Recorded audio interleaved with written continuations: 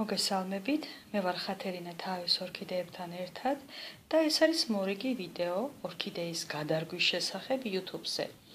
თქვენ ახლა ხედავთ ჩემს ერთ-ერთ ორქიდეას, რომლის გადარგვასაც ახლა მე ვაბირებ და სანამ უშუალოდ პროცედურას დავიწყებდე, წარმოგიდგენთ ყველა იმ მასალას, რომელიც აუცილებელია ამ პროცედურის განხორციელებისათვის.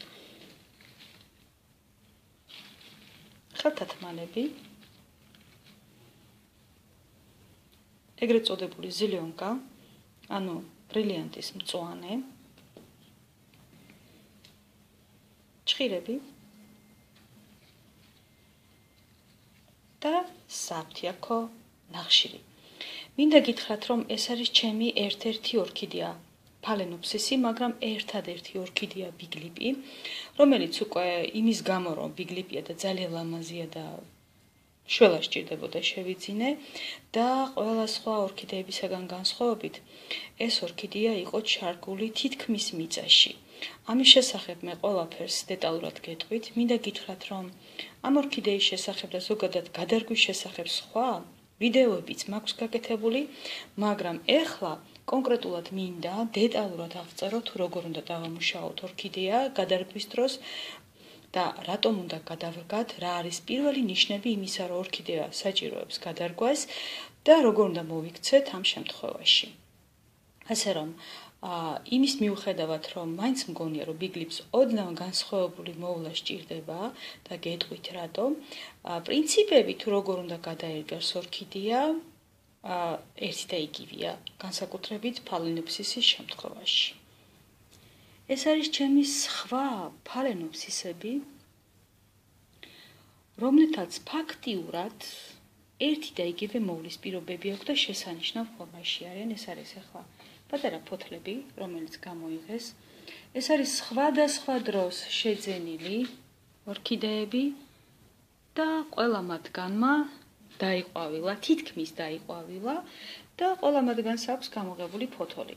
რატო ვამახვილებ ამაზე ყურადღებას? იმიტომ რომ თითქმის ერთ და იგივე მოვლის პირობები აქვთ და მაშინ, როდესაც აი ეს ფოთლები გაიზარდეს, უბზინავთ და გადასარევად გამოიყურებიან, ჩემმა ბიგლიპმა ოდნავ მოიწინა. ერთი მგონია, იმიტომ რომ განსხვავებულ სუბსტრატში იყო ჩარგული, და გადარგვას საჭიროებს და მეორე, რატომღაც მგონია, რომ სხვა ფალენოფსისებისაგან განსხვავებით ბიგლიპს ოდნავ განსხვავებული მოვლა სჭირდება. მე დიდი იმედი მაქვს, რომ ამ ვიდეოს ნახავს ის ადამიანი, ვისაც აქვს სახლში ფალენოფსისი ბიგლიპი და გამიზიარებს თავის გამოცდილებას. შეიძლება ეს ჩემი შთაბეჭდილება მცდარია. თითქმის ყველა ფალენოფსისმა გამოიღო დამატებითი ფოთოლი. ერთი და იგივე მოვლის პირობები აქვს და ყველა კარგად გამოიყურება. ზოგი გადარგული, ზოგი გადაურგავი. აი ესენი მაგალითად არ გადამირგავს. აი სამი თვეა. ჩემთან არის ეს ორქიდეა. ჯერ ისე ყვავის. დამატებითი კვიტი გამოიტანა. ეს ორქიდეა გადავრგე და ეს უკვე არის სახლის ყვავილობა არსებულ ღეროზე. მაგრამ რაც შეეხება ბიგლიპს, რატომღაც მგონია, რომ ის ტენი, რომელსაც მე ყველას ერთნაირად ვაწვდი, ბიგლიპისათვის არის ბევრი. ასე რომ, ჩემი თხოვნა არის, რომ მჭირდება გამოცდილება ბიგლიპთან დაკავშირებით, რადგან შემექნა შთაბეჭდილება, რომ ბიგლიპს ოდნავ განსხვავებული მოვლა სჭირდება, სჭირდება განსხვავებული გრუნტი და თუ ეს მართლა 100-ია, ან თუ ეს 100 არ არის, თხოვთ დამიკომენტაროთ, გამიზიაროთ თქვენი გამოცდილება. აა კარგი იქნება თუ გამოიწერთ ჩემს არხს. ხოლოდ ერთხელ, ერთად ერთხელ ნებისმიერი ვიდეოს ქვეშ არის სიტყვა წითლად subscribe, ეს არის მტვერი. ქალაქის მტვერი, რომელიც დაედო. მიუხედავად იმისა, რომ გაწმენდილია, მაინც ედება მტვერი. ხო, რას ვამბობდი? ნებისმიერი ვიდეოს ქვეშ არის სიტყვა subscribe გამოწერა ან პატვისაცე წითლად მხოლოდ ერთხელ უნდა დაჭერა და ამ შემთხვევაში აქტიურდება შესაძლებლობა კომენტირების, ლაიქების და დისლაიქების. აა ასე რომ მეგობრებო, გთხოვთ გამიზერა თქვენი გამოცდილება ბიგლიპთან დაკავშირებით. მანამდე მე ვიტყვი რა არის ბიგლიპი, საიდან მოვლინა ბიგლიპი სამყაროს და ასევე როგორ გადავრგავ ჩემ ორქიდეას და როგორც თქვი, გადარგვის პრინციპები არის საერთო. რითი მიიპყო ბიგლიპმა ჩემი ყურადღება? რა თქმა უნდა, თავისი ვიზუალით ეს არის ულამაზესი ფალენოფსისი და სხვა ფალენოფსისებისაგან განსხვავდება იმით, რომ მაშინ, როდესაც ფალენოფსისის ყვავილს ერთ-ერთი ქვედა ფურცლაკი აქვს წვეტიანი ენასავით, ბასრი, წამახვილებული, ბიგლიფს აქვს დიდი და მომრგვალებული. ზუსტად აქედან გამომდინარეობს მისი სახელწოდება, დიდი ტუჩი. ან დიდი ბაგე, არ ვიცი როგორ არის სწორად. და მართლა ულამაზესია, არის შედარებით ახალი სახეობა, სპეციალურად გავეცანი და აღმოაჩინე რომ ჯერ მხოლოდ 2012 წელს პირველად მოხდა მისი პრეზენტაცია ჰოლანდიაში და წარმოადგინა ვინმე კერძო სელექციონერმა ლეონტინ თუ ლეონარდო ბორსატო და გამოჩენის დღიდანვე მიიპყრო თავისი ყურადღება. არ არის ხშირი სახეობა, მაგრამ როგორ გითხრათ, საკმაოდ დიდი პოპულარობით და სიყვარულით სარგებლობს. ესე იგი ამოვიღე ჩემი ორქიდეა ქოთნიდან და აი ეს არის ის რაშიც იყო. ჩარკული ტორფირებული პატარა ქოთანი რომელიც აუცილებელია იმისათვის რომ ჩითილები გამოიყვანონ. ეს არის სხვადასხვა სტიმულატორებით გაჟღენთილი, რომელიც ხელს უწყობს ორქიდეის ზრდას და ფესვების განვითარებას. მაგრამ დროთა განმავლობაში ზუსტად აი ეს რაც თავის დროზე აუცილებელია და ხელს უწყობს, ხელს უშლის უკვე ორქიდეას განვითარებაში, აი ეს სიცხებს პობას ახლა რაღაცნაირ უსიამოვნო სუნი აქვს და ზუსტად აი ეს არის ის, რაც იწვევს ფესვების გაფრჩებას. შემდგომში ხა თუ კარგად დავაკვირდებით, აი შუა აი ამ ადგილას ფესვები აქვს გაფრჩებული, სადაც ჩასმული იყო, ხო რაც შეეხება დაბლა, მეტნაკლებად მთელი. მეგობრებო, ორქიდეის ქოთნიდან ამოღებისას და მისი ფესვების დამუშავებისას ვმოქმედებთ უკიდურესად ფრთხილად. რადგან ველომენი, აი ეს პროსოდ კერკი შეიძლება დავუზიანოთ, ხო ეცდები? კარგად გაჩვენოთ, აი ეს არის კერკი, გარსი, რომელიც აკრავს ველომენს ანუ ფესვი, ეს ერთად ფესვი მართულივით რომ არის ძაფივით. მას გარს აკრავს ესეთი მწვანე ჟელესავით ნივთიერება ველომენი, რომელიც იგროვებს ტენს და გარდაქმნის საკვებ ნივთიერებად და ვენომელს ველომენს გარს აკრავს ქერქი და ეს ქერქი არის საკმაოდ ნაზი და მყიფე. ამიტომ, როდესაც ჩვენ ამოვიღებთ, დავაპირებთ ქოთნიდან ამოღებას, ჯობია რომ აა დავალბოთ ანუ ესე რომ თქვა ჩაძირვით მოვწყათ. ოღონდ ხო ხვდებით, ეს უნდა იყოს მორწყვის პერიოდი, ამიტომ ეს არნიშნავს, რომ გუშინ მოვწყე და დღეს ისევ ჩავძირე, რომ გადავრგა. მორწყვის პერიოდს ვამთხოვთ და ვასველებთ და ამოგვაქვს, იმიტომ რომ ამ შემთხვევაში უფრო დრეკადობას იწენს. ასევე, როდესაც ამოვიღებთ, უნდა გავრეცხოთ, ამ დროსაც უფრო მეტად გაეჟღინთება და ეს არის საკმაოდ სტრესული ორქიდეისათვის, იმიტომ რომ ძალიან ბევრი ტენის მიღება და გადამუშავება უწევს. მაგრამ ეს არის აუცილებელი, რადგან ზუსტად მაშინ გამოჩნდება ეს სლიკინები და სველი ადგილები. ანუ მე ახლა ეს უკვე დამუშავებული მაქვს, გამოღებული, გარეცხილი. აქ მოვაყარე, როგორც შეგვიდით, ნახშირი, ამიტომ ეს დაბლა ესეთი ნახშირები ყრია. ახლა ვაპირებ და ვამუშავ უკვე ფესვები. ძალიან ფრთხილად ვცდილობ მინიმალურ რაოდენობაჯერ შევეხო, იმიტომ რომ შეხება გამოიწვევს დაბზარვას. და აი როგორ ვამუშავებ? თლიანად ამ წვანის დამუშავებას დიდი აზრი არ აქვს, აი აქ. холод და მხოლოდ იმ ადგილებს, სადაც მოხდა ველომენისაგან გათავისუფლება, ვამუშავებ ბრილიანტის მწვანით. აი ამ ადგილებს. ფრთხილად რადგან გაშრა ორქიდეა და კიდევ ერთხელ დასველება არივარგებს ხმე ერთი ხელით მიწევს მუშაობა. ამიტომ კადრს მიღმა მე ამ ორქიდეას ახლა დავამუშავებ და წარმოგიდგენთ. დამუშავებას მოვჩი და ახლა მე მინდა წარმოგიდგინოთ დამუშავებული ადგილები. ანუ როგორც თქვი მოქმედებთ უკიდურესად ფრთხილად და ვამუშავებთ მხოლოდ იმ ადგილებს, რომელიც არის ესე რომ ვთქვათ, აი ეს ადგილი მაგალითად. ახლა ეცდები ცოტით, აი ესე. მხოლოდ იმ ადგილებს, სადაც მთავრდება ველომენი. ეს გამოიწვევს პატარა დამწრობას, მაგრამ არ აუშავს, აი მაგალითად ეს ფესი ესეთი დავტოვე. ახლა ეცდები. დავიჭირო, აი ესე დავტოვე ეს ფესვი, რაღაც ადგილზე ველომენი გავაფუჭდა, რაღაც ადგილზე ველომენი შეინარჩუნა. ამიტომ ესეც დავამუშავე. ვმოქმედებთ უკიდურესად ფრთხილად და ნაზად. აი მთელ ფესვებზე არ წამისვამს, იმიტომ რომ როგორც გითხარით, ეს არის დამწრობა. ხოლო იმ ადგილებში, რომელიც თავისუფალია ველომინისაგან და ამ ორქიდეას ვაშრობთ. აა შეიძლება ამ პროცედურამ დაიჭიროს საკმაოდ დიდი დრო, ნახევარი დღეც კი, მაგრამ არა უშავს სიკრე, არ უყვართ ორქიდეებს. ეხლა ეს რო გაშრება, უნდა გადავიტანო გრუნტში. ეხლა კიდევ ერთხელ ახლოდან დაგათვალიერებინებთ, როგორ დავამუშავე და რა უბნები დავამუშავე. ამიტომ რეკომენდაციას გაძლევთ, რომ იმუშაოთ ხელთათმანებით.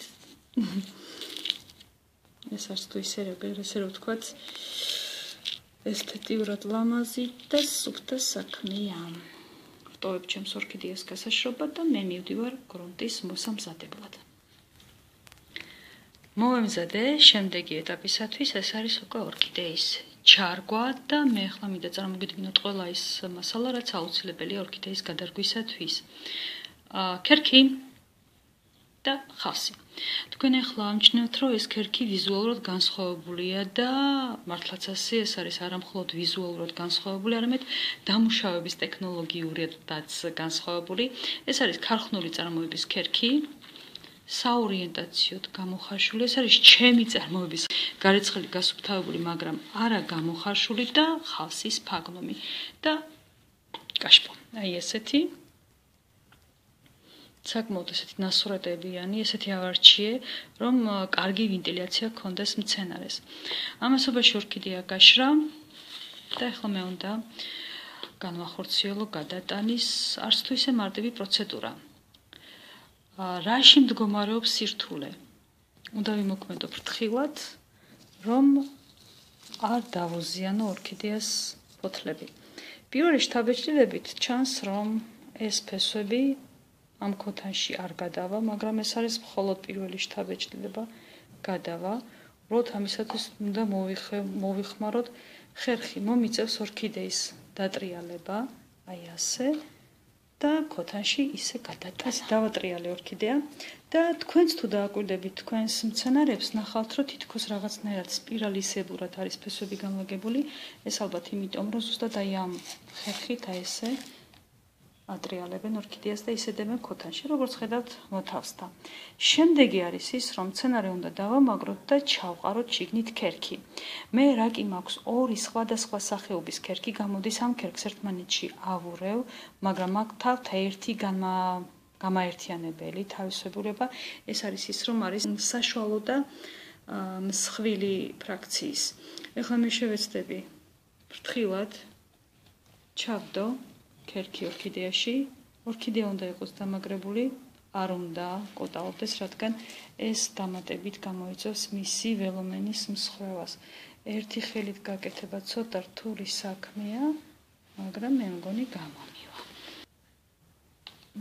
ჩავდოს მოქმედებთ ფრთხილად.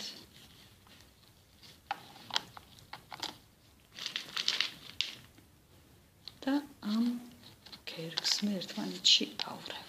რატო ავრევ ამ ქერქს ერთმანეთში? ანუ გამოხარშოს და გამოუხარშავს. იმიტომ რომ გამოხარშული ქერქი კარგად იგროვებს ტენს და ზედმეტი ტენი, ვიცით რა შედეგებს იწვევს, ხოლო გამოუხარშავი პირიქით ტენს არ იგროვებს. საკმაოდ რთული ამოცანა მაქვს, იმიტომ რომ ფესვების შუა გულში უნდა მოვახდინო ქერქის შეგდება, მისათვის წვილი ფრაქცია გამოდგება. მოქმედებ უკიდურესად ბრთხილად. და ეჭვი მაქვს, რომ ზუსტად ამიზეზის გამო იყო ჩაყრილი ტორფი ორქიდეაში. აა სფაგნუმს არ ვაყოლებ, იმიტომ რომ დავიკითხო, რომ სფაგნუმი არ გვინდაო, ეს უბრალოდ ხერში მოყვა. სფაგნუმს დავაფარებ ზემოდან. და როგორც თქვი, დამჩაშთაბეჭლება რომ განსხვავებული მოვლა სჭირდება ოდნავ, იმიტომ რომ ისედაც ფრთხილად ვწავ ჩემს ორქიდეებს და მინიმალურად ვაწოდებ წყალს, ტენს ვწtildeობ რომ მივაწოდო დამატებითი საშუალებებით.